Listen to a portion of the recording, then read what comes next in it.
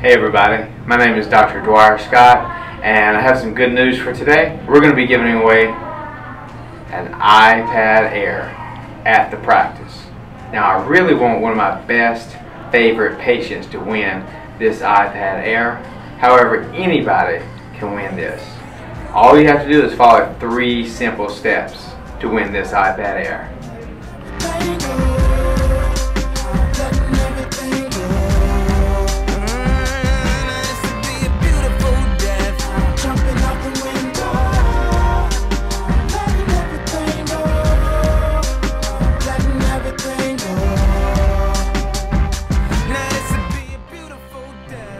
There you go guys. Follow those three simple steps. It's going to be awesome. Good luck.